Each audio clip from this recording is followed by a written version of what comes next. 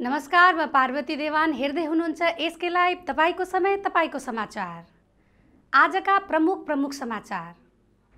राज्यका पर्यटन मन्त्री गौतम देवले आइतबार सिलगढीको पन्ध्र नम्बर वार्डको परिदर्शन गरे। काउन्सिलर विन पन्ध्र नम्बर वार्डमा आइतबार राज्यका पर्यटन मन्त्री गौतम देवले परिभ्रमण गरेर त्यहाँको विकास कार्यहरूको जानकारी लिए। तिनले वार्डको सबै बाटोहरूको मर्मती गरिदिने आश्वासन दिए। साथै एउटा शाखा ब्युरो अफिस खोल्ने बारे विचार गरेको तिनले अझ बताए। काउन्सिलर विन पन्ध्र नम्बर वार्डमा चेयरम्यानद्वारा कामकाज चलिरहेको जानकारी पाइएको छ। तिनले जब एक्काइसवटा कर्पोरेसनको चुनाव हुन्छ त्यति बेला नै सिलगढी पन्ध्र नम्बर वार्डको पनि चुनाव गरेर নয়া কাউন্সিলর গঠন કરીને বতায়ে বলে বলেছিলাম যে পনেরো নম্বর ওয়ার্ডে আসব, আজকে এলাম। এরিয়াগুলো ঘুরছি, তিনটে জায়গা দেখলাম। যে জায়গাগুলো মানে কোনো মালিক নেই, একটা আড়াই তিন কাটা জায়গা আছে, আমি জানি না, ওই জায়গার মধ্যে ওভারের জলের ট্যাঙ্ক করা যাবে কি না ওটা দুর্গপ্রস্ত মেপে বলেছি দিতে পেয়েছির সাথে কথা বলব।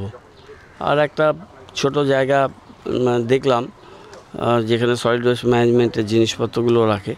সলিড ওয়েস্ট ম্যানেজমেন্টের জিনিসগুলো একটা ছাদ যদি করা যায়, উপরে একটা বড় অফিস বা ওয়ার্ডের একটা অফিস একটা যোগাযোগের একটা জায়গা হতে পারে। আর ইয়েতে উদাহরণ, ইয়েতে গেলাম, কিছু টাকা আছে ওদের কাছে, ওরা কাজটা শুরু করবে। কাজটা হলে মাঠটাকে ডেভেলপ করে ওটাকে একটু ডেভেলপমেন্ট প্ল্যানের মধ্যে রাখব। রাস্তাঘাট দেখলাম এখানে অবস্থা খারাপ। দু চারটে ড্রেন ভেঙে আছে। এই কাজগুলো, এই পাড়ার কিছু ডেভেলপমেন্টের প্রজেক্টের মধ্যে এটা ইনক্লুড করব, এটা ইচ্ছে আছে। আমি ঘুরে দেখছি, মাঝে মধ্যে আসব, মাসে এক একবার করে আসার চেষ্টা করব, এক মাস না হলে দু মাসে একবার করে আসব।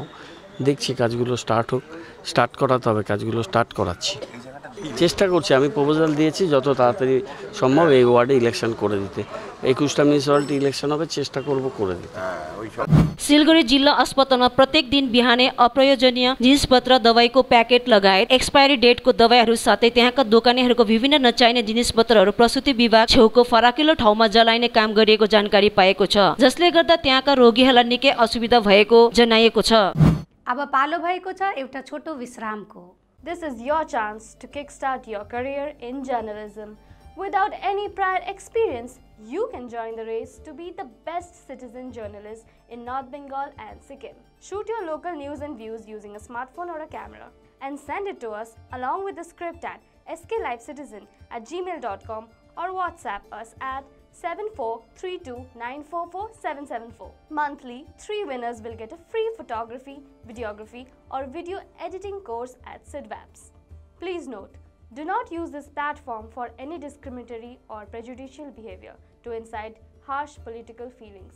विश्राम પછી पुनः स्वागत છે अब रहल समाचार.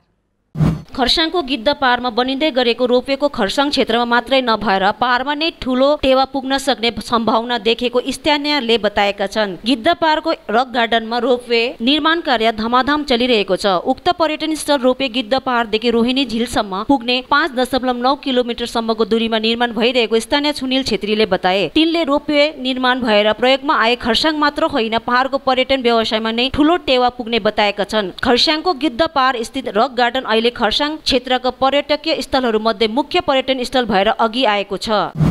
सिलगढी प्राज्ञ भारतीले आइतबार बिहान पर्यावरण सम्बन्धी जागरुक गराउन साथै थर्मोकल एवं प्लास्टिक क्यारी ब्याग व्यवहार बन्द गर्ने लक्ष्य लिएर अग्रणी सङ्घमा एउटा यज्ञ आयोजना गरे। यज्ञ सुरु हुन अघि एउटा र्याली निकालेर प्रज्ञ भारतीका सदस्यले साधारण मानिसहरूलाई परिवेश दूषित नगर्ने आवेदन गरे। उक्त कार्यक्रममा प्रज्ञ भारतीले मन्त्रपाठ गरेर अग्निलाई साक्षी मानेर सिलगढीको परिवेश दूषित हुनबाट बचाउन साथै थर्मोकल एवं प्लास्टिक क्यारी ब्याग व्यवहार बन्द गर्ने प्रतिज्ञा लिए। यसका साथै स्थानीय मानिसहरूले पनि प्लास्टिक ब्यागको प्रयोग नगर्ने प्रतिज्ञा लिए।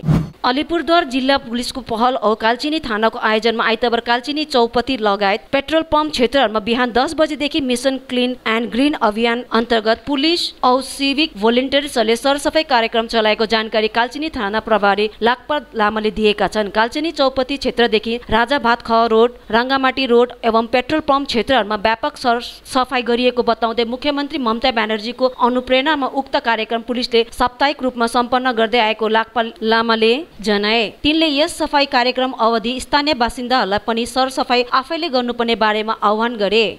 यहाँ मुख्यमन्त्री पश्चिम बङ्गालको अनुप्रेरणामा हामी यो clean and green and clean drive समाज गाउँहरूलाई सफा गर्ने सफा राख्ने यो कार्यक्रम हामी गरेको छौँ। यो लास्ट एक महिनादेखि चलिरहेको छ र आज यहाँ कालचिनी चौपती र आसपासको इलाकामा हामी साफसफा गरेर एउटा अभियान एउटा इक्जाम्पल देखाउन सुरु गरेको छौँ। डुवर्सको मादरीहाट चिया बगान स्थित हान्टापारा चिया बगानमा शनिबार चियापत्ती टिप्नु जाँदा बिजुली चम्केर दुईजना श्रमिकहरूको मृत्यु भएको छ। उक्त पैँतिस वर्षीय ती महिलाहरू सबिना सान्ताल र कान्ति गौड नामले चिनित छन् प्राप्त जानकारी अनुसार शनिबार दिउँसो ती महिलाहरूले चिया बगानको साधन लाइनमा पत्ता टिप्दै थिइन्। त्यस समय वर्षासहित वज्रपात हुँदा उक्त ती दुई महिला भुइँमा लडे। चिया बगानका श्रमिकहरूले हतार हतार तिनीहरूलाई वीरपारा स्टेट जेनरल अस्पतालमा लगे। अस्पतालमा डाक्टरले उक्त ती महिलाहरूलाई मृत घोषित गरिदिएको बताए। हवस् त अहिलेलाई यति नै। हेर्दै गर्नुहोस् यसकै लाइभ तपाईँको समय तपाईँको समाचार।